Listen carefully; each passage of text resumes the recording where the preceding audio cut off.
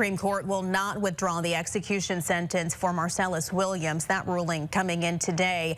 Williams was convicted of killing a former St. Louis Post-Dispatch reporter in 1998 but has always maintained his innocence. Right now, St. Louis County Prosecutor Wesley Bell is looking to overturn that conviction. The ruling today means his execution date is still set for September 24th.